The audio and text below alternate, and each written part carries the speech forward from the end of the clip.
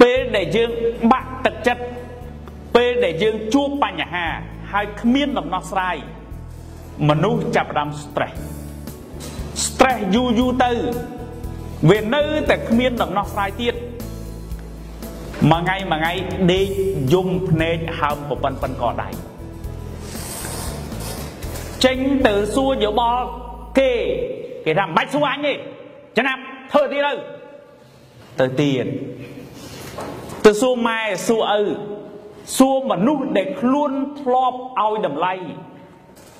លែងមានអ្នកណាគេឲ្យតម្លៃខ្លួន នៅពេលហ្នឹងណាមនុស្សចាប់ផ្ដើមវិវត្តពី stress ទៅ depress អា depress ហ្នឹងចិត្តចងកហើយបាទណាអាហ្នឹងគឺលែងមើលឃើញខ្លួនឯងសំខាន់មួយទៀត អាគេមើលមកយើងអត់សំខាន់អត់តន់អីណាអាហ្នឹងបង្ក stress តែដល់ពេលយូរយូរទៅយើងខ្លួនឯងនេះចាប់ផ្ដើម proof ថាអញអញអត់សំខាន់មែនតាគេមើលមកអញអត់បានការអញរងថ្ងៃដូចអត់មានធ្វើអីបានមែនអញរងថ្ងៃដូចចោលមកសៀតមែនអានេះចាប់ផ្ដើម negative self talk ការនិយាយអវិជ្ជមានអំពីខ្លួនឯង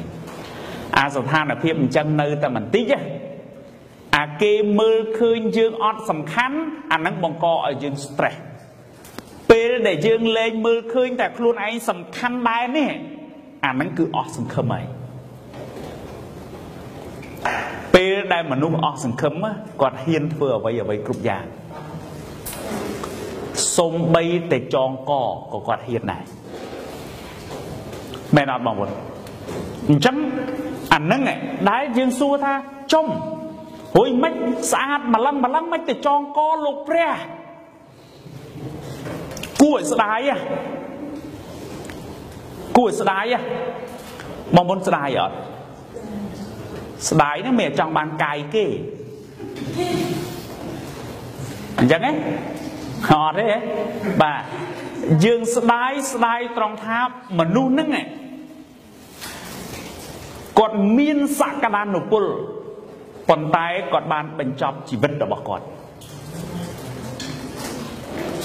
ហើយស្ដាប់ចម្រៀងក្មេងខ្មែរច្រើន មានបទចម្រៀងលើកទឹកចិត្តច្រើនណាស់សុវលយា